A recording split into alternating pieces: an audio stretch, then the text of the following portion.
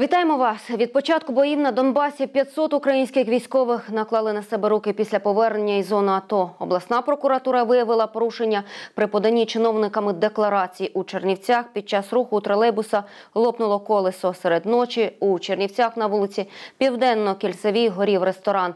Два відмінника із ЗНО на всю область. Основні події, якими позначився тиждень, що минає. Про це і не тільки. Ми вам сьогодні детально розповімо у інформаційно-аналітичній програмі Резонанс. А розпочинаємо з передової. Там триває наголошена війна. Ситуація і нинішнього тижня була напруженою. Бойовики активно відкривали вогонь по позиціях наших захисників із застосуванням зброї, забороненої мінськими угодами. Найгарячіше було на приморському напрямку. Як зазначають у штабі АТО, військовослужбовці збройних сил України зазнали поранень. Також є втрати. Від початку бойових дій на Донбасі близько 500 українських військових наклали на себе руки після повернення із зони АТО. Про це у своїй сторінці стратегія гибридного миру на українській правді написав міністр внутрішніх справ Арсен Аваков. За його словами, в Україні офіційно статус учасників бойових дій має 280 тисяч українців. На думку Авакова, в таких умовах Україні слід готувати стратегію гибридного миру. Загально визнаний міжнародний стандарт з військових конфліктів 90-95% учасників бойових дій згодом мають медичні пов'язані з нервовою системою соціальні проблеми. А близько третини діагностується посттравматичний синдром, результатом якого нерідко бувають самогубства, додав міністр внутрішніх справ України Аваков. Для нас наказ міністра оборони став несподіванкою, але ми готові служити Україні. У Чернівцях відправили перших офіцерів запасу на військову службу за призовом. Серед них інженери, вчителі, два працівники міської ради. Військомат Буковини відправив 15 офіцерів. Вони не збиралися нікуди втікати. У нинішніх призовників вища освіта, хороша робота та первинно офіцерські звання, молодший лейтенант. Проте тепер змушені пройти військову службу у Збройних силах України. Відповідний наказ підписав у кінці травня міністр оборони. Серед призваних офіцерів новопризначений директор департаменту економіки Чернівецької міської ради Степан Руденко. На своїй посаді він встиг попрацювати лише день. Досить було несподівано е, побачити наказ міністра оборони про е, призов. Надзвичайно було найважче було сказати це все батькам, особливо мамі, яка дуже переживала. Але я дуже вдячний своїм рідним, які е, мене підтримують, друзям, які поруч надихають. І е, я чітко розумію, що це мій е, громадський обов'язок.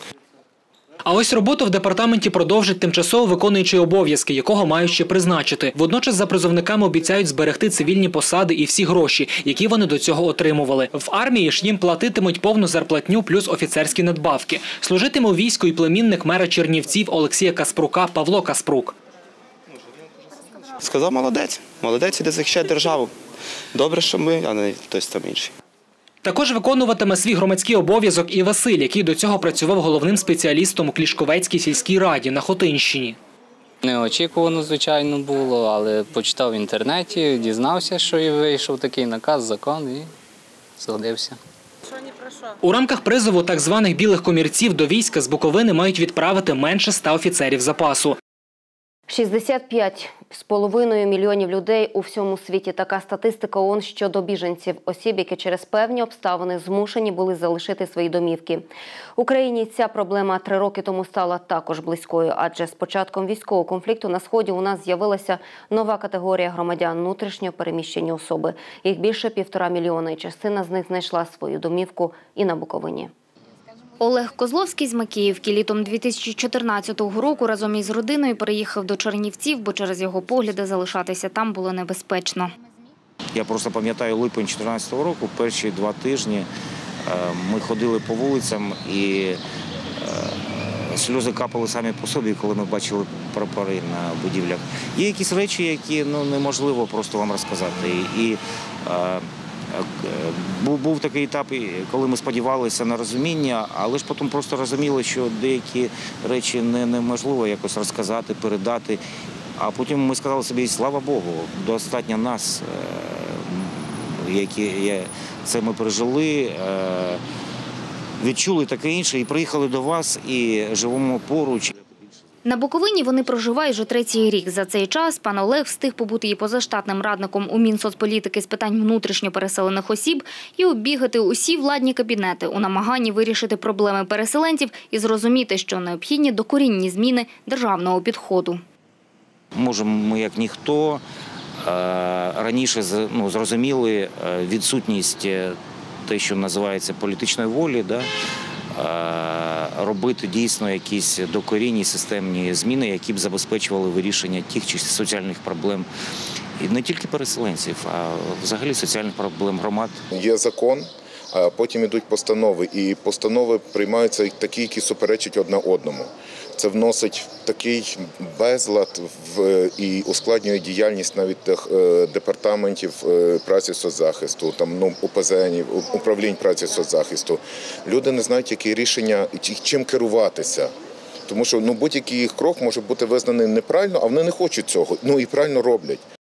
В Чернівецькій області офіційно зареєстровано 2842 внутрішньо переміщених осіб. Більшість з Донеччини та Луганщини і лише зо 400 з Криму. В обласному департаменті праці та соцзахисту кажуть, усі, хто мають право на пільги, отримує їх у повному обсязі. Для інших зберігається лише одна допомога – компенсація за житло, 800 гривень за дитину і пенсіонера, трохи більше чотирьох сотень для працездатних. Якщо діти і пенсіонери отримують 884 гривні незмінно від того, чи вони працюють чи не працюють, то 442 гривні стимулюють людину для того, щоб вона була на роботі або стояла в центрі зайнятості. Якщо через два місяці не знаходиться робота і людина не стоїть в центрі зайнятості, то сума зменшується до 221 гривні. І ще через два місяці, тобто від 4 від початку призначення допомоги, якщо людина ніде не реєструється, тобто фактично вона десь заробляє, але заробляє без реєстрації, то ця допомога знімається. Пан Олег отримував її перші місяці після того, як лише переїхали сюди. Опісля втратив, адже він мовлявся від запропонованої центром зайнятості роботи. Мені пропонували там е, е, працевлаштуватися водієм тролейбуса чи кухарем, е, ну, бо це актуально тут. І був такий, знаєте, деякий час тому був такий міф, що переселенці не хочуть працювати. Насправді, друзі,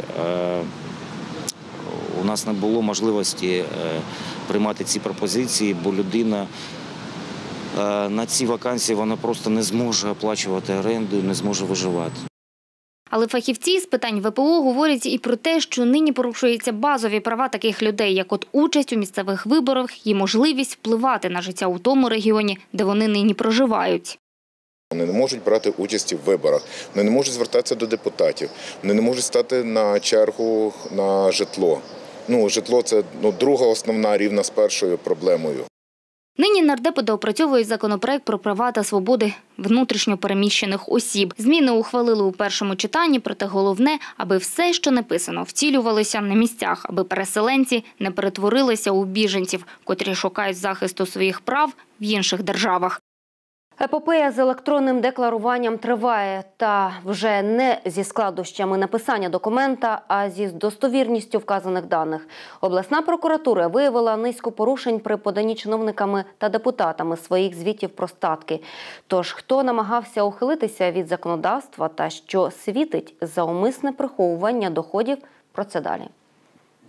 Стаття 45 закону України про запобігання корупції зобов'язує державних службовців, депутатів всіх рівнів, посадових осіб місцевого самоврядування декларувати свої статки. Перша хвиля подачі стартувала ще торік у вересні. Під час другої виникла ціла епопея. Спершу посадовці не могли розібратися із заповненням документа. Потім офіційний сайт НАЗК не витримав великої кількості запитів. Зрештою, і терміни подачі декларацій продовжили до 1 травня, аби всі встигли. Нині минуло от як півтора місяці, і обласна прокуратура вже знайшла з десяток порушень. Вони стосуються недостовірної інформації щодо нерухомості, земельних ділянок або ж взагалі умисного неподання документа. За фактами виявлених порушень нами розпочато вже на сьогоднішній день 10 кримінальних проваджень. Триває досудове розслідування.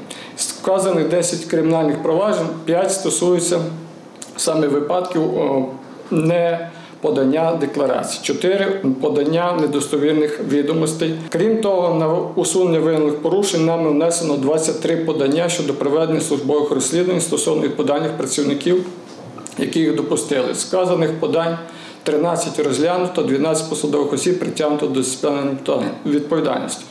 У прокуратурі повідомляють, намагалися ухилитися від закону держслужбовці РДА, районних рад та депутати з п'яти районів області. З посадовцями Кельменецького та Сокрянського району телефоном нам зв'язатися не вдалося. А ось керівник апарату Заставнівської РДА вважає, що чиновники припустилися у деклараціях незначних помилок.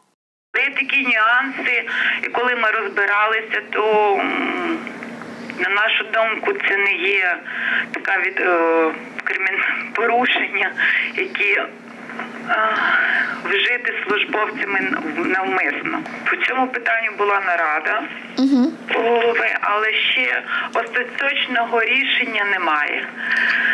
У нас є контрольний термін, де ми маємо повідомити прокуратуру, яких заходів вжито. У Хотинській районній раді нам не повідомили точної кількості депутатів, котрі взагалі не подали електронної декларації. Втім, додають, всі були поінформовані про те, що звітність обов'язкова. Ми всіх повідомили депутатів. Ми ж не розслідуємо, е, де вони, чого вони, чого не подали.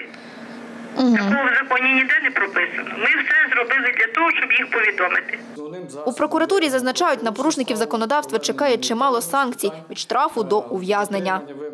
За умисне неподання електронної декларації передбачено тільки кримінальну відповідальність, зокрема за статтею 366 зі значком 1 Кримінального кодексу України. Тут е, види покарань досить розгалужені.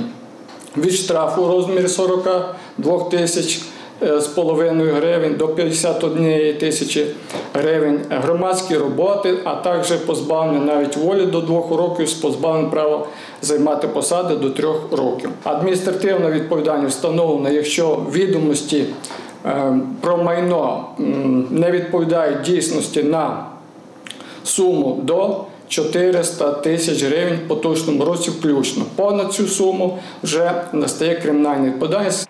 Моніторингом декларацій держслужбовців та депутатів займаються і чернівецькі громадські активісти. Вся інформація, яку знайшли експерти, публічна. Подали всі. Взагалі ситуація з Чернівецькою міською радою досить таки хороша в порівнянні з Чернівецькою обласною радою. У нас там були певні проблеми минулого е, року, тому що подали не всі, менше половини депутатів. Ми до сих пір намагаємося їх отримати ці декларації. Після аналізу декларацій депутатів обласної ради ми. Написали п'ять повідомлень до НАЗК. Відповідно, отримали відповідь від них, що наші е, звернення відправлені до національної поліції. Відтак е, очікуємо У Чернівцях під час руху тролейбуса лопнуло колесо. Від вибуху у переповненому громадському транспорті травмувалося кілька пасажирів. Троє жінок отримали забої. Одній пощастило менше. У неї зламана нога. Решта відбулися легким шоком. Ранок середи, година пік. Один із найбільш популярних тролейбусних маршрутів, номер 3 який від'їжджає від дріжзаводу. Саме його обслуговує і водій пані Наталія. Жінка розповідає, за усі роки її роботи це перший такий випадок, коли луснуло колесо під час руху. Почула дуже сильно взрив і, звісно, зупинилася. Повно пилі в салоні і все. Ну і допомагали людям, щоб вийшли і все. Вісім атмосфер скати, ну, ну вважається, що нові. І дуже багато атмосфер, і воно зривна, вол- зривною волною так ударилося. В результаті вистрілу самого відбулося відрив внутрішнього підкрильника, який і наніс ушкодження пасажирам. Пані Ганна – медпрацівник на залізничному вокзалі. Саме її викликали надавати першу медичну допомогу постраждалим. Нас викликали наше начальство по вокзалу станції Чернівці. Ми підійшли. Люди були, ну, переживали, тому що ну, не кожен день таке відбувається у нас в тролейбусах. Ну, по мірі можливості надавали медичну допомогу. Жінка просили одну жінку не ворушитися, тому що там була підозра на травмування ноги вплоть до перелому. Усіх постраждалих доправили до лікарні швидкої медичної допомоги. Звернулось четверо постраждалих. Троє з них ми відправили на амбулаторне лікування з забоями м'яких тканин і контузією м'яких тканин.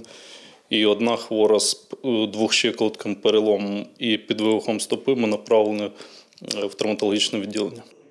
У момент нашого приїзду до лікарні пацієнтку саме готували до операції. для того, щоб провести репозицію закриту і фіксацію відламків спицями з подальшим накладанням гіпсової пов'язки і в дальнішому е, при наявності благополучного стану в дальнішому амбулаторне лікування.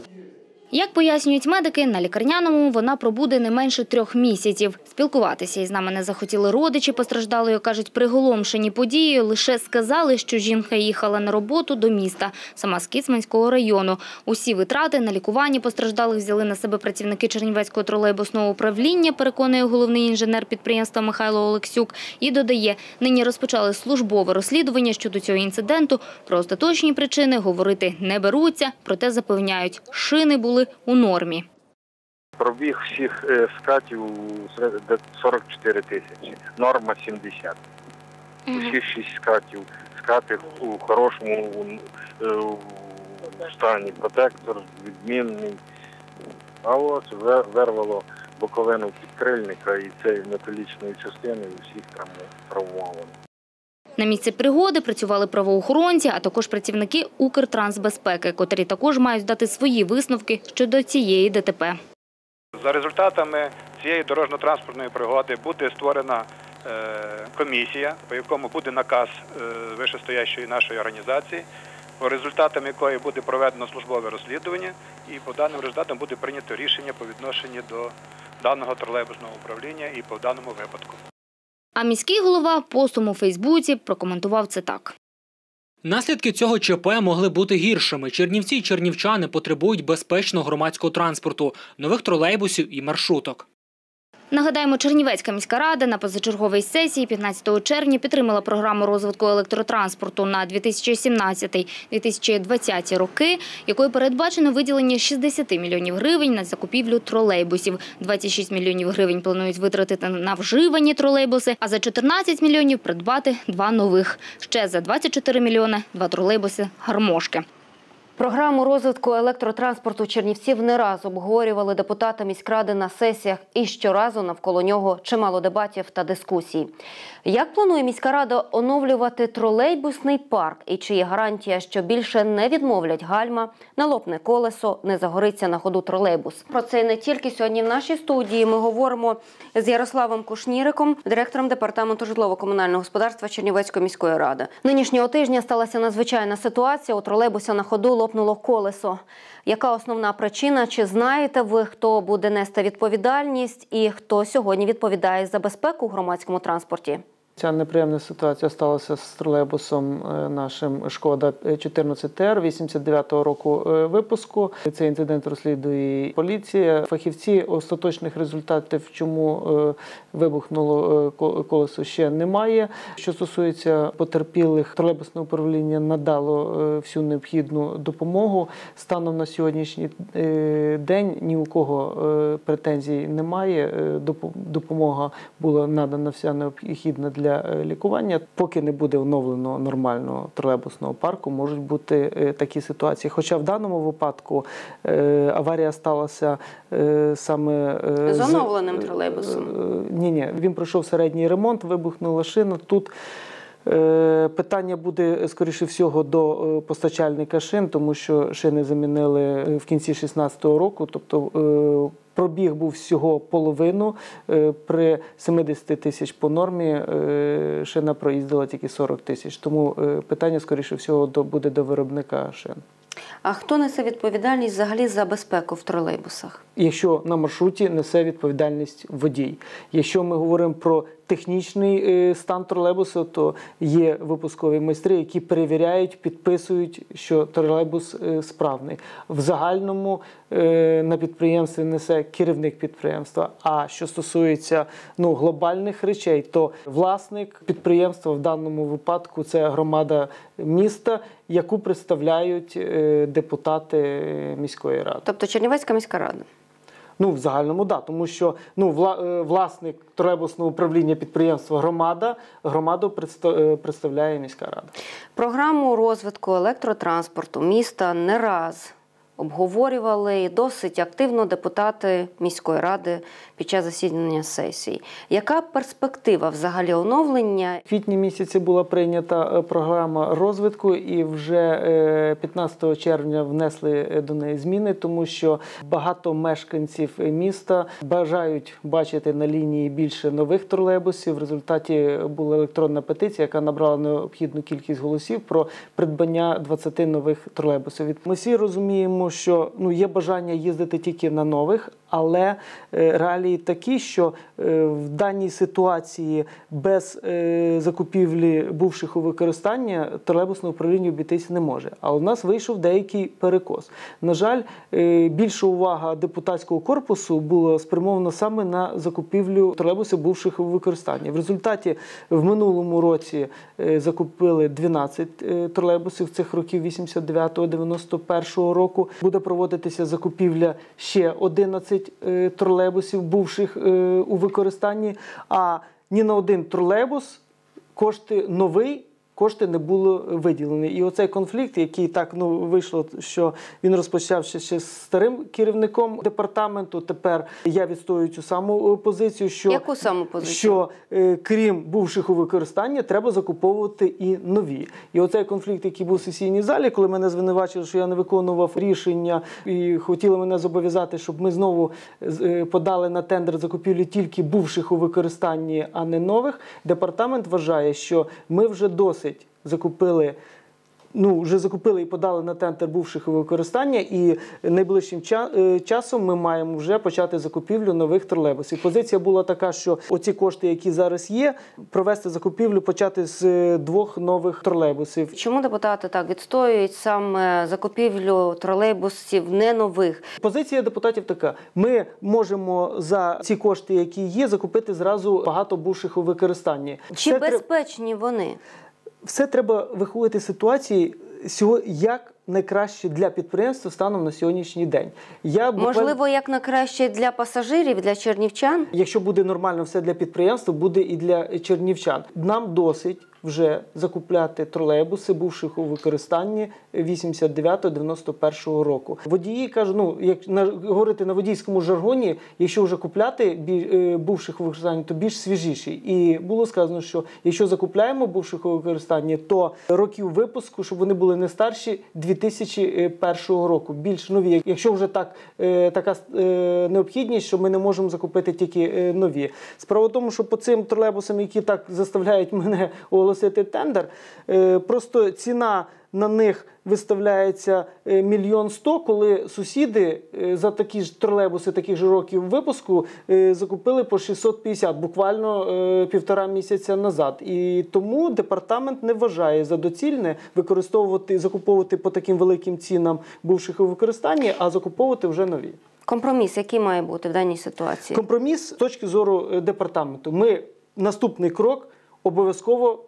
Тендер закупівля починаємо закупляти нові тролейбуси. Зміна маршруту тролейбусу номер 1 теж досить дискусійна тема нинішнього тижня. Ну, більшість чернівчан, е, звісно, що сприйняли цю новину не зовсім позитивно. Хто буде вирішувати? За ким остаточне рішення? Ідея йшла від е, деяких е, депутатів. Начальник тролейбусного управління спробував пояснити, як взагалі розробляється маршрутна сітка, що таким чином ніхто не може без проекту, без розрахунків взяти е, і е, продовжити е, маршрут. На жаль, проголосували, але все рівно буде вирішуватися так, як робиться по правилам. І говорити про те, що нам потрібно його продовжити. Що тут на вулиці Яській, колишній Ковальчука, там маленький проміжок від головної. Ніхто не враховує кількість пасажирів, які на цій кінцевій зупинці сідають з цього нового мікрорайону вулиці Миру і Винниченка. Тому е, залишати і створювати незручності для тих пасажирів, які звикли користуватися. е, Цією кінцевою зупинкою теж е, недобре. Тому вирішувати все рівно буде тролейбусне управління, департамент, фахівці. Я вам дякую за розмову про те, як планує Чернівецька міська рада вирішувати проблему електротранспорту Чернівців, а також хто буде нести відповідальність за те, що у тролейбуса прямо на ходу лопнуло колесо. І не тільки в нашій студії ми сьогодні говорили з директором департаменту житлово-комунального господарства Чернівецької міської ради Ярославом Кушнірком. Учні всіх навчальних закладів за проїзд у тролейбусах у Чернівцях платитимуть по гривні. Відповідне рішення ухвалив виконком Чернівецької міської ради. Вартість проїзду у міському електричному транспорті для студентів денної форми навчання, вищих навчальних закладів першого-четвертого рівнів, акредитації та учнів професійно-технічних навчальних закладів незалежно від форм власності буде у розмірі 1 гривні за проїзд на період навчального року. Для учнів шкіл у розмірі 1 гривні на весь календарний рік. Також передбачено виготовити відповідні учнівські квитки. Рішення набирає чинності з 1 липня. Три життя забрала трагічна аварія, яка сталася в понеділок на трасі поблизу Мамаївців. Остаточну причину ДТП правоохоронці назвуть лише після результатів експертиз. Проте вже відомо, що правила дорожнього руху були порушені. Це робоче місце 29-річної Ірини, яка разом з чоловіком трагічно загинула в понеділок у ДТП. Тут жінка попрацювала понад 10 років перукарем. Колеги кажуть, біля неї постійно було весело і гамірно. Завжди посміхалися задоволені клієнти, безперервно працював фен. Та вже день, як тут, тиша. Говорити про свого світлячка, як її називали друзі, сьогодні їм важко. Ирка, ты была очень классная. Ты останешься в нашем сердце всегда такой доброй, красивой, молодой, такой заботливой мамой, таким хорошим другом. Мы все тебя очень сильно любим. Це саме наш світлячок такий. Я працюю з нею в одній зміні вже кілька років. Вона дуже чутлива, доброзичлива, співчутлива, добра, дуже хороша мама. Сама хороша, я не знаю, як ми це переживемо, як ми будемо без неї, де її місце. От вона тут працювала. Ми всі її чекаємо, що от вона прийде, її вже не буває. Просто еще не дошло окончательно до всех, что произошло, потому что эм, ну, я не знаю, это как э, э, хребет, вот вы, э, вырван просто э, из... Ну, просто вырвали хребет, потому что здесь э, в- Ира создавала как бы настроение свое того дня Ірина з чоловіком та донькою на автомобілі Пежо поверталися з села від батьків. По дорозі підібрали ще двох попутників. В якийсь момент водій не впорався з керуванням, на швидкості влетів у відбійник, який наскрізь прошив авто. Наразі правоохоронцями призначено низку експертиз для з'ясування точних причин аварії. Хоча вже зараз відомо, правила дорожнього руху були порушені. Наймовірніше, загиблий перевищив швидкість. Підтверджують це і очевидці. Я був з тої сторони, просто йшов прямо. Подивився, що він хоче повертати, іду далі. За секунду почув різкий удар, розвертаюся і вже є на що дивитися. Я думаю, що була скорість добра, бо то нереально було її побачити. Встиг замітити тільки водія Мерседеса, що він хотів зробити поворот. Саме тут, на виїзді з села Мамаївці, і сталася ця жахлива ДТП, яка забрала три життя. Сьогодні про цю аварію нагадують хіба що викривлений відбійник, численні уламки від автомобілів та довгий гальмівний шлях. П'ятирічна донька загиблих Тіна дивом залишилася живою, кажуть очевидці. Наразі вона перебуває у лікарні. У неї незначні травми, та медики кажуть, її життю, як і іншого постраждалого, нічого не загрожує. З дівчинкою працюють психологи. передпліччя. Дитина після такої травми має бути під спостереженням, можуть бути якісь скриті діагнози, які ми першу добу не виявили, тому ми маємо її утримувати під спостереженням. Характер травми, як це все виникло, і ті наслідки, що ми бачимо, е, якби ну не співпадають, у мене викликають де, ну, дещо, скажімо так, на, застереження. Автодорога до Маново, Коваль, Чернівці, Тереблече, на якій сталося ДТП, проходить через село Мамаївці. Місцеві жителі кажуть, що на цій трасі водії часто нехтують правилами дорожнього руху і перевищують швидкість. На великій швидкості, ну їдуть люди, села. Дитина може перейти, чи що? Ну як це так можна? І розбиваються, і нема, нема спасення з цим. Початку нинішнього року на Буковині сталося 116 ДТП з потерпілими, у яких загинуло 26 людей, 127 були травмовані. Менше чим за три години за такий час чернівчани зможуть дістатися до Румунії. Це стане можливим після запуску нового потяга, що сполучатиме Чернівці та Сучаву. Коли реалізують даний проект, обговорювали представники обох країн у Чернівцях.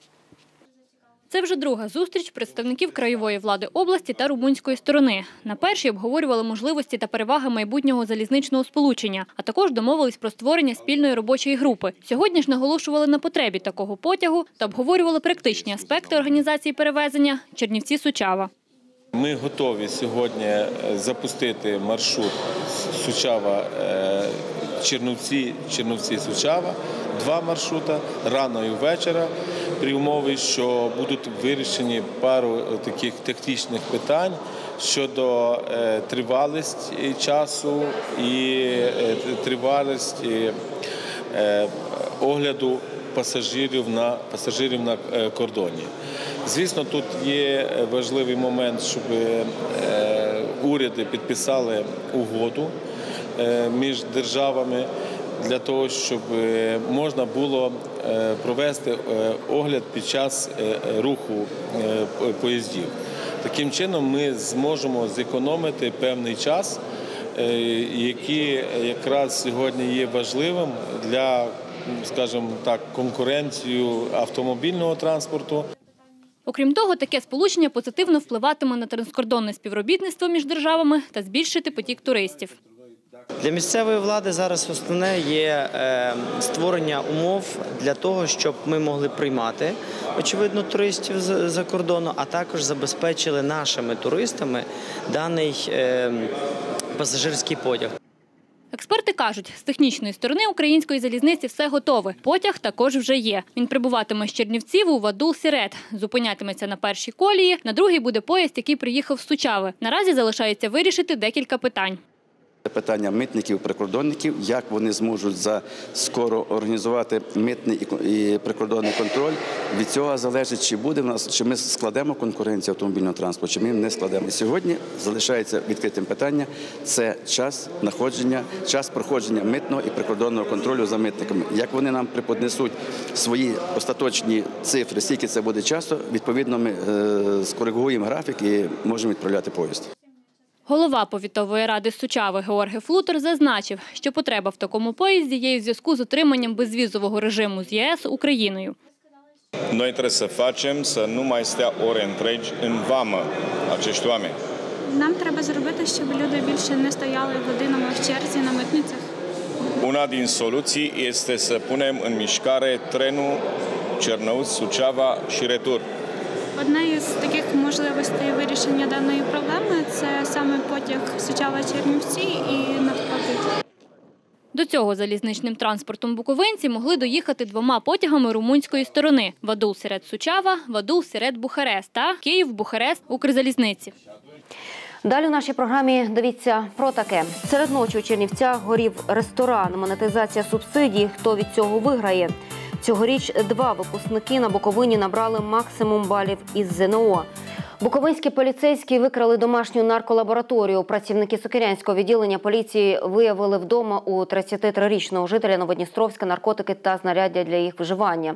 Поліцейські вилучили 50 грамів марихуани, таку ж суму кількість амфетаміну та різноманітне знаряддя для вживання наркотичних речовин.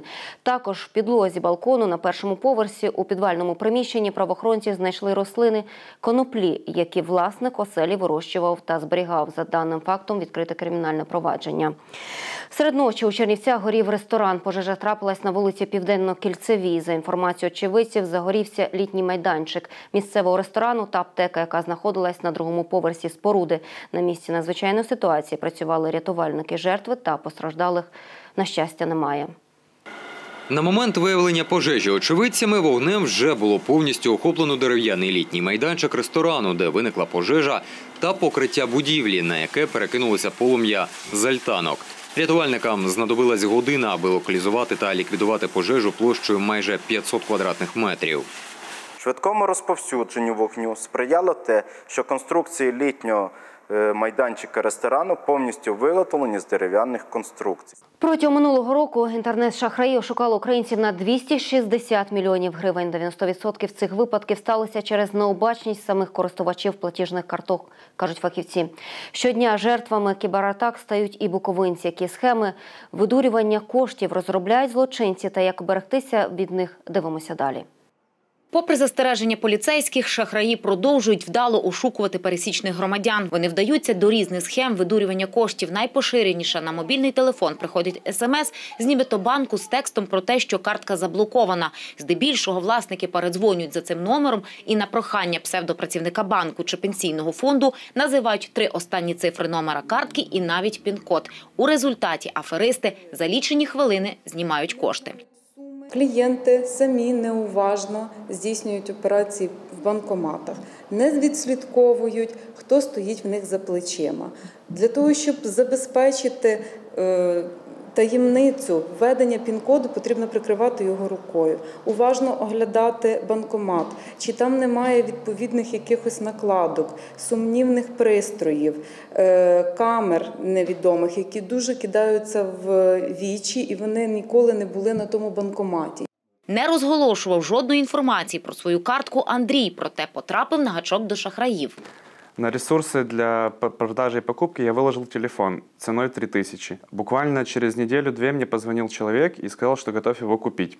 Спешку обосновал тем, что разбил свой телефон и ему нужен новый. Я предложил ему использовать услуги новой почты, но он отказался и сказал, что хочет отправить телефон рейсом Черновцы-Хмельницкий, так как это будет быстрее. Ближе к времени отправки данного рейсового автобуса пришло смс об оплате с отчислением полной суммы на картку, номер которой я ему отправил. Телефон дал водителю, автобус уехал. Но к вечеру я понял, что смс пришло с фейкового номера, и деньги на карточку так и не пришли. Так как имей телефона не был выписан, найти его и доказать, что это мой телефон, я не смог. Фахівці кажуть, у період розвитку комп'ютерних технологій протистояти кіберзлочинності важко, адже шахраї йдуть на крок попереду. Єдиний спосіб убезпечити це не розголошувати інформацію про свою платіжну картку. Якщо ви вже бачите, що до вас телефонують особи, присилаються працівником банку і кажуть, що повідомте нам, будь ласка, код, який пішов в смс-повідомленні, це однозначно шахраї. Припиняйте зв'язок з такою людиною і не перераховуйте гроші. І в першу чергу блокуйте ваш картковий рахунок. Трата своїх коштів залежить тільки від особи, яка володіє цими коштами. За статистикою, своїм жертвам шахраї телефонують в ранковий або вечірній період доби, коли люди сонні або перевтомлені і не одразу можуть проаналізувати ситуацію. Саме їх розгубленістю користуються злочинці. Фахівці нагадують, при найменшій підозрі на аферу варто свою картку заблокувати.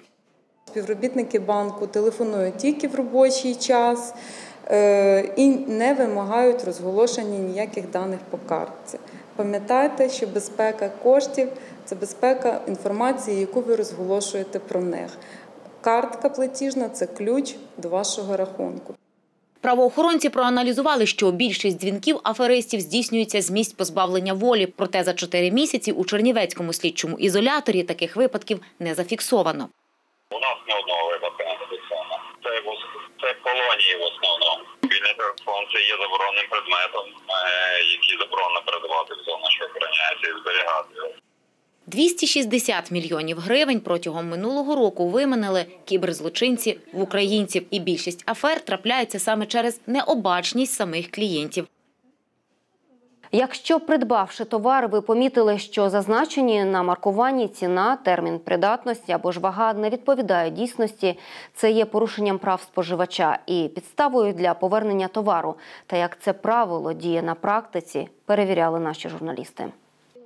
Регулярно скуповується у одному із чернівецьких супермаркетів пані Наталія. Та цього разу після чергового шопінгу, повернувшись додому, помітила на копченому м'ясі під цінником магазину ще один від виробника. Та ціна, і вага, і навіть дата виготовлення різнились. Леплено два ценника. На одном написано вес 261 грамм, на другом вес 282 грамма. Цена за килограмм 67 гривен 67 копеек. Здесь цена э, 87 гривен 17 копеек. Э, По срокам э, выготовления тоже несоответствие. Срок выготовления 15.06 и 19.06.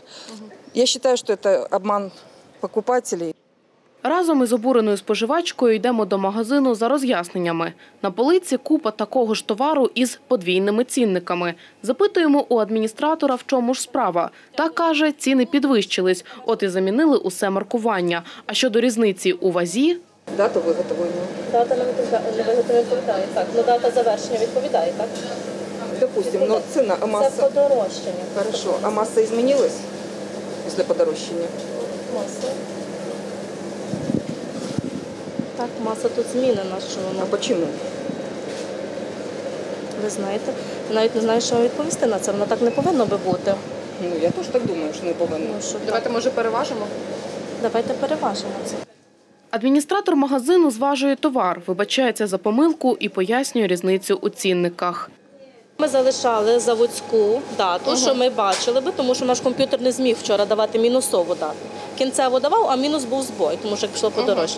І тому ми залишали, спеціально не заклеювали для людей іменно заводський, заводську дату. Тобто що- зараз просто переважити всю продукцію, так, щоб Так, більше не повторювалося? е, так допустилася помилка. Це людський фактор. Напевне, дівчата вчора переважували. Пані Наталії повернули гроші. Адміністратор ж вибачається і переконує, якщо подібна ситуація сталася у вас, не соромтесь звертатись в магазин за відшкодуванням різниці. Натомість у Держпродспоживслужбі переконують, таке порушення прав споживача є приводом звернутись до них із заявою. В такому випадку йому потрібно перше це звернутися з письмовою вимогою до продавця товару, внести запис до книги скарг і пропозицій, а також споживач має право письмово звернутися до головного управління Держпродспоживслужби в Чернівецькій області за адресою місто Чернівці, Сторожинецька, 115. В такому випадку управлінням буде ініційоване проведення позапланової перевірки. При виявленні порушень інспекція має право оштрафувати суб'єкта господарювання. Громадяни, які мають субсидії і зекономили на використанні енергоресурсів, мають написати заяви для монетизації субсидій. Проте фахівці кажуть, таке право матимуть лише ті, хто використовував газ чи електроенергію для опалення житлової площі, а не для приготування їжі чи обігріву води. Хто саме виграє від монетизації субсидій? Про це далі у наступному матеріалі. Таким чином, із майже 40 тисяч чернівецьких домогосподарств, які мали субсидії, право на монетизацію мають понад 9 тисяч. Більшість це компенсація за зекономлений газ і лише 15 субсидіантів, що використовували електрообігрів. Розмір залежатиме від кількості заощадженого, але не більше 700 гривень за газ і 250 за електроенергію. Нині зазначають в органах соцзахисту міста значного ажіотажу немає. Заяви поки написали лише 10% з тих, хто має право на монетизацію. Проте офіційну кампанію щодо прийому заяв на компенсацію розпочнеться з 1 липня. Якщо людина зверталася до нас у червні, то звичайно, що ми приймали, хоча в постанові зазначено, що до 1 червня органи соціального захисту мають отримувати ці списки, і до 1.9 ми маємо їм е, виплатити цю компенсацію. Хоча, якщо ми до 1.9 будемо приймати заяви, то звичайно, що ми не можемо сказати 100%, що ми до 1.9, тому що це самі ви зрозумієте, що нонсенс. Я думаю, що можливо буде таке, що і термін можуть продовжити, тому що враховуючи те, що зараз напружена досить робота, навантаженість на спеціалістів управління значна. І я не думаю, що до 1.9 ми зможемо всіх охопити у цим порядку. Далі мова про зміни до положення про електронні петиції у Чернівцях. В ратуші активісти, депутати та небайдужі чернівчани обговорювали питання електронних петицій на громадських слуханнях. Учасники відкрито дискутували на тему особливостей електронної демократії, переваги та недоліки. Як нині працюють електронні петиції в Чернівцях та чи є це дієвим механізмом висловлювання волі людей та впливу на чиновників? Дивимося наш наступний матеріал. З 2015 року чернівчани можуть звертатись до органів місцевого самоврядування з проблемами, які їх турбують, не виходячи з оселі. Такий механізм впливу громадян на прийняття рішень влади можливий через електронні петиції. Зареєструвати петицію можна на сайті Чернівецької міської ради. Тут же чернівчани мають можливість підтримати її. Для цього навпроти неї заповнити форму з прізвищем, ім'ям, електронною поштою та підтвердити її. Аби петицію взяли до розгляду, за 30 днів вона повинна набрати 250 голосів. Однак сьогодні таку систему планують дещо змінити. На громадських слуханнях активіст Микола Ляхович запропонував для подання або підтримки електронної петиції, окрім необхідної реєстрації на сайті, проходити підтвердження за допомогою системи електронної ідентифікації особи Банк ID або електронного цифрового підпису. Аргументував це тим, що часто на петиціях є так звана накрутка голосів. Відбувається іноді накрутка, неоднозначна реакція на е, петиції, які е, пропонуються громадянами е, на сайті міської ради. Якщо ми просто збільшимо кількість необхідних підписів, то це жодним чином не зупинить тих, хто накручував. Е, Їм треба буде просто трошки більше ресурсів витратити. Проте це обмежить е, чесних е, громадян, які дійсно вірять в, те питання, яке виноситься в вигляді петиції. Деякі ж чернівчани проти такого нововведення, бо це ускладнює процедуру подання та голосування за відповідну петицію. Окрім того, є ще деякі недоліки. Є 10 днів робочих на відповідь. Відповідь тут дотримана все як має бути, але далі починається сам розгляд питання. І тут жодних термінів немає встановлено. За два роки чернівчани подали чимало електронних звернень, які стосуються ремонту доріг, роботи комунальних підприємств, організації пасажирських перевезень, підтримку закладів освіти, медицини та культури. Тож чернівецькі активісти пропонують альтернативний спосіб подання петицій для тих, хто не хоче втрачати час з отриманням електронного підпису. Дуже часто оцих 250 підписів електронних вони зібрані ну, не, ну, в такий непорядний спосіб. Місцеві ініціативи, будь ласка, можна в вигляді місцевих ініціатив організувати збір підписів е, цим. І я думаю, що мені дуже шкода, до речі, що ця система не працює. Тому що місцеві ініціативи це теж самі електронні петиції. На зібранні вирішили рекомендувати Чернівецькій міській раді таки запровадити механізм електронного підпису для подання і підтримки електронних петицій. Остаточне рішення мають ухвалити депутати на сесії. Два відмінника із ЗНО на всю область цьогоріч поки двоє випускників набрали максимум балів із зовнішнього незалежного оцінювання. Торік таких було четверо. Нині освітяни Буковини сподіваються, що їх побільшає, адже ще немає остаточних результатів із двох предметів. А ось найрозумнішими цьогоріч виявилися дівчата, і з ними поспілкувалися наші журналісти. Максимальні 200 балів із біології та понад 190 із української мови та літератури, а також історії. Про такий результат випускниця Чернівецької гімназії номер 7 Олена і мріяти не могла, навіть попри те, що є гордістю своєї школи. Я навіть досі інколи заходжу на сайт, перевіряю, чи дійсно в мене 200 балів, щоб потім не виявилося такого, це якісь чужі результати, а вся там слава мені. Каже, готувалася посилено, читала біологію не менше ніж по 2-3 години на день. Та Олена зізнається, висипалася добре, дала свій результат і робота із репетитором. Я не люблю сама займатися, мені скучно. Мені подобається, коли я з людиною, я відчуваю контакт. Мені більше подобається говорити про біологію, ніж читати про неї. А ось це вже Надія, випускниця Великокучурівської школи на Сторожонеччині. Вона своїм прикладом показала, що здавати ЗНО на відмінно можна і в сільській школі. Дівчина набрала 200 балів із англійської мови. Аби їх отримати, Надії довелося відмовитися від багатьох розваг. Замість дискотек підручник, а замість кафе бібліотека. Були і довгі, безсонні ночі, години проведені перед комп'ютером із книжкою в руках. Ну куди ж без цього? Ну найголовнішим для мене був результат. Де будуть вчитися в Чернівцях чи, можливо, в столиці, дівчата Олена та Надія досі не знають. Думала би вступити в Богомольця або у Львівський медичний університет. Але, чесно кажучи, БДМУ це місце, де вчились мої батьки. Мені хотілося пірнути в ці глибини англійської мови, дослідити всі підводні рифи. Освітяни ж сподіваються, що таких розумників на Буковині побільшає, адже до кінця тижня мають бути результати ще з двох предметів фізики та хімії. Щодо самої процедури проведення ЗНО 2017, то значних порушень кажуть не було. Апеляцій не було порушень абсолютно ніяких було щодо самої процедури. Е, Єдине, що в нас четверо випускників було вилучено під час технологічної перерви, вилучено з аудиторії, і вони вже позбавлені права були складати. Говорити про те, як буковинські випускники склали ЗНО, поки рано додають освітяни. Остаточні результати будуть не раніше серпня. Саме тоді формуватимуть відповідні звіти. Нинішнього тижня 944 випускника Буковинського державного медичного університету отримали дипломи про вищу освіту. Для того, аби працювати лікарем, їм потрібно ще пройти інтернатуру.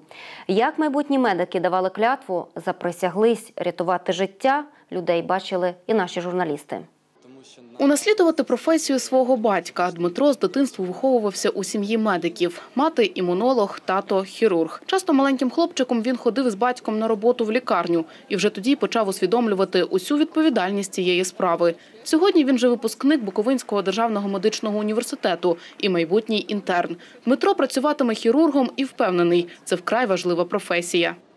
Особливо зараз в наш неспокійний час, враховуючи ситуацію в нашій країні.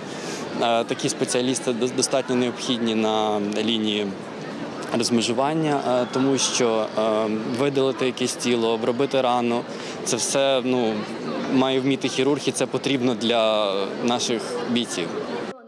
Завдяки змінам у законі про вищу освіту цьогорічні випускники мають право обирати місце проходження інтернатури або за традиційним направленням університету, або за бажанням змінити спеціальність чи навіть регіон. Однак, якщо до 1 серпня випускник не знайде місце в державній установі, він втрачає право проходити інтернатуру за державним замовленням. Такою можливістю скористалась Уляна. Вона майбутній лікар-офтальмолог, проходитиме інтернатуру в Одеському національному медичному університеті.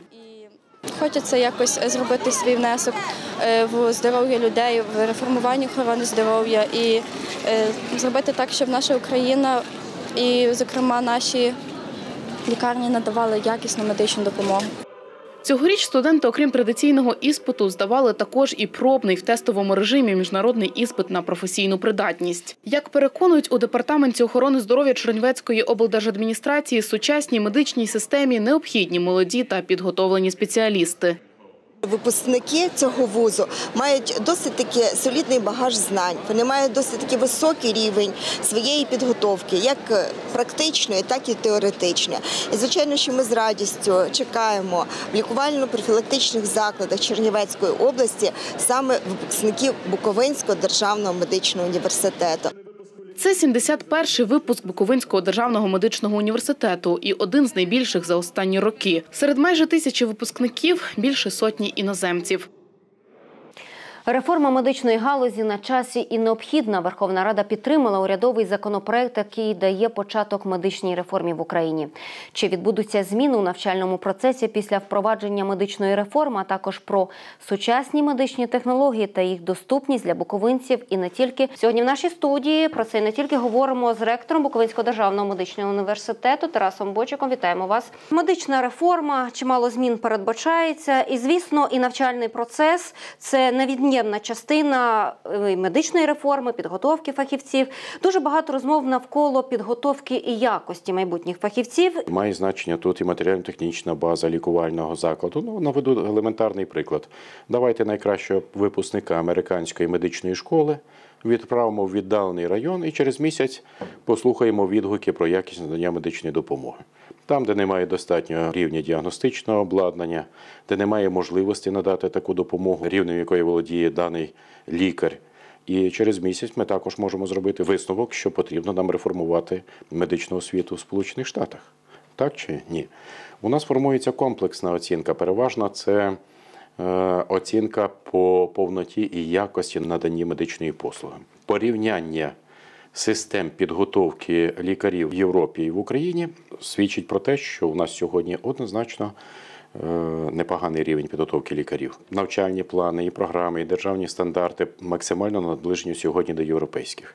Ті люди, які е, виїжджають за кордон працювати, проводять легалізацію, нострифікацію е, дипломів, вони це роблять сьогодні значно простіше ніж навіть 10 років тому. Україна приєдналася у 2005 році до болонського процесу, і це наблизило саму систему підготовки. Тобто медична освіта вже наближена до європейських Звичайно. стандартів. Питання в тому, що не наближена до європейських стандартів медицина недостатньо, так? Матеріально-технічна база. Рівень знань лікарів непоганий, але не завжди вони можуть реалізувати свої знання в тих умовах, в яких вони працюють. Нам це дуже добре відомо. Освіта медична повинна вдосконалюватися завжди.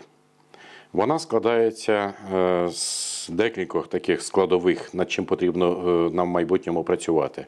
Перше, сама система освіти, структура має бути дещо консервативною, а от зміст освіти має мати випереджальний характер, постійно вдосконалюватися. Це е, підручники, лекції, особливо кваліфікація науково-педагогічного персоналу. Від кого це залежить? Це залежить багато і від держави, і від самого вузу. Чому від держави? Тому що сьогодні законом про вищу освіту задекларована автономія вищих навчальних закладів. Ну, вона не реалізується повною мірою. Ми не маємо права самостійно дещо на сьогоднішній час ще формувати штатні розписи, змінювати навчальні плани. Ну і в якості освіти є е, дві важливі, найважливіші складові: це кваліфікація науково-педагогічного персоналу. Це на першому місці поставити можна. І друге це якість е, підготовки, базової підготовки самого абітурієнта. Тобто, наскільки студент здатний засвоювати ті знання, які йому даються.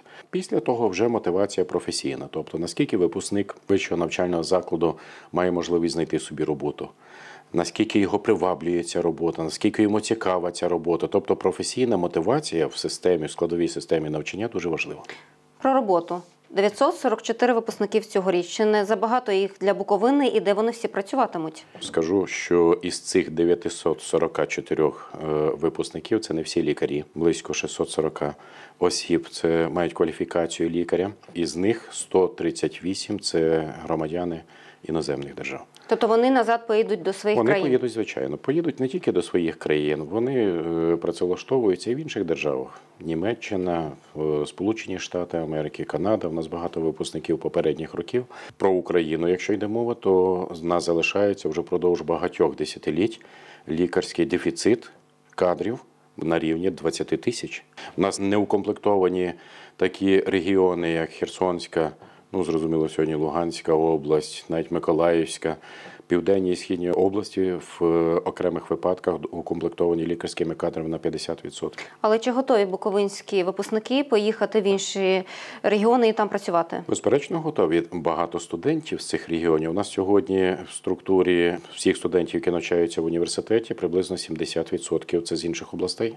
В контексті тих змін, які сьогодні передбачені реформою, чи потрібно змінювати напрямки підготовки фахівців? Проблема не в лікарських спеціальності, не в переліку. Справа в тому, що медична освіта вона є дуже специфічною. Вона відрізняється від всіх систем освіти і організаційно, і в тому числі, що після дипломна освіта триває е, все життя у лікарі, і треба потрібно забезпечити обов'язково якісний ось цей етап після дипломної освіти, а не в переліку спеціальностей. Тому що хтось каже, потрібно скоротити окремі спеціальності, розширити цей перелік, ввести резидентуру, не ввести резидентуру. Якщо ви подивитеся на систему після дипломної освіти різноманітних країн, є різноманітні моделі. Скажу лише одне: необхідно надавати після дипломного освіту на зовсім іншому рівні. На рівні такому, щоб лікар, який закріплений в певному регіоні, і в цьому регіоні є вищий навчальний заклад, мав змогу вибрати той чи інший курс самостійно, пройти навчання чи удосконалення своєї кваліфікації, підтвердити відповідну кваліфікацію і рости тільки на конкурентних засадах. На вашу думку, що сьогодні мотивує лікаря працювати? Дуже важливо звичайно, мати бажання допомагати людям. Коли ми говоримо сьогодні про якість оцінки підготовки лікарів, е, ми забуваємо сказати, що у нас в українці навіть немає обліку лікарських помилок на сьогоднішній день. Е, Але якщо би такий облік лікарських помилок був, то ми не гірше виглядаємо, ніж інші держави. Можливо, їх потрібно запровадити на державному рівні для того, щоб була і певна статистика. Тоді буде це мотивацією для інших. Це також є один із мотиваційних факторів. Я вам дякую за розмову про реформу медичної галузі, про новації в медичному навчанні, а також підготовку майбутніх лікарів. І не тільки сьогодні в нашій студії ми говорили з ректором Буковинського державного медичного університету Тарасом Бойчуком. Все життя він творив з любов'ю до рідного краю. У Чернівецькому художньому музеї відкрили виставку, присвячену пам'яті Володимира Денисова, видатного українського художника, різьбяра, геральдиста, педагога, автора герба і прапора Хотина, члена національної спілки майстрів народного мистецтва України. За життя Володимир Денисов переконував, на гербі має бути потаємний символ святе місце. Унікальне художнє різьблення по дереву, книжкова та геральдична графіка. На виставці експонувалися кращі зразки творчих робіт митця. Донька Володимира Денисова Ольга розповідає, яким був її батько, чим найбільше захоплювався і що надихало його у творчості та житті. В першу чергу його надихала буковинська природа, буковинські звичаї традиції. Він фактично прожив е, дуже довгий час в Хотині. Юність його пройшла в Хотині, потім він переїхав в Чернівці. Він, в принципі, не лише створював е, роботи з дерева. Ну, в даному випадку на, на нашій виставці ми представили тільки роботи з дерева. Окрім цього, е, він займався геральдикою, він створював герби і прапори. І ну, найбільш таким великим здобутком це є герб і прапор Хотина. Володимир Денисов відомий в Україні не тільки своєю творчістю, але й педагогічною діяльністю. Більше 25 років, починаючи із 1985-го, він викладав композицію та живопис у художній школі імені Михайла Івасюка. Володимир Буток був одним із перших учнів Володимира Денисова. Зізнається, від свого учителя перейняв чимало, і таких людей неможливо замінити. Те, що тут представлено, це тільки дерево, але він графік був мощний. Він, він, нас вчив як робити ліногравюри, розумієте? Це було взагалі, уявляєте, це, це мало художніх шкіл було, щоб діти могли так займатися всерйоз графікою. Прекрасніша людина, дуже інтелігентна людина. Ми його дуже любили, він дуже спокійний був і завжди були уважні. Майстерність передати двома словами це неможливо. А то, що він знав це діло своє і любив це діло, це дійсно. І у нього свій почерк. Тому що багато робот ми з ним виконували разом, але у нас у кожного свій почерк. На виставку завітали майбутні художники і майстри народного мистецтва. Кажуть, для себе дізналися багато нового про художнє різьблення по дереву. Це вперше. Я ніколи з такими роботами не стикався. І для мене да, це дуже повчально. І це ну, якби приклад для мене, щоб в майбутньому теж старатися щось робити таке подібне. Для чернівчан та гостей міста у художньому музеї виставка Володимира Денисова триватиме до 17 липня. На цьому мене все. Ми намагалися вам детально розповісти про основні події, якими позначився тиждень, що минає. Нехай наступний тиждень буде більш приємним та позитивним для всіх нас. Я вам дякую, що дивилися. З вами не прощаюся. Скоро побачимося в прямому ефірі програми Реалії. До зустрічі.